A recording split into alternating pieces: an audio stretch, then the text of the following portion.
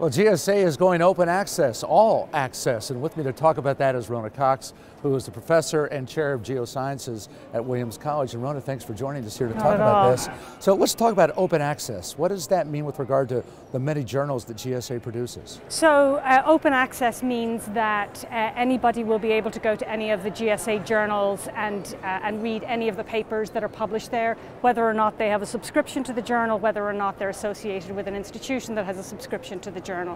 Um, and we think that this is, uh, this is really the wave of the future.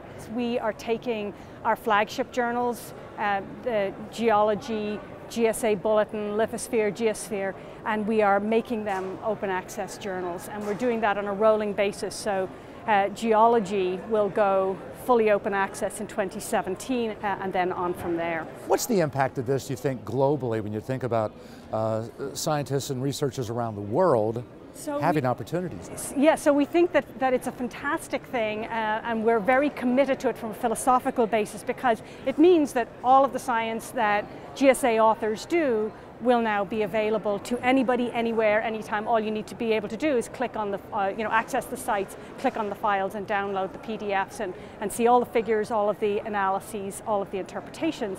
But one of the things that's really, really, really, really like super important about the way that GSA is doing this is that this is not going to be a pay to play model. GSA is saying we are going to keep our, our, our um, uh, editorial process and our scientific review process completely need blind. We're going to treat that paper simply as a piece of science and make a, a decision to publish or not publish based wholly and completely on whether the science is good enough because that is going to be the cornerstone of this whole process is that the science will remain good.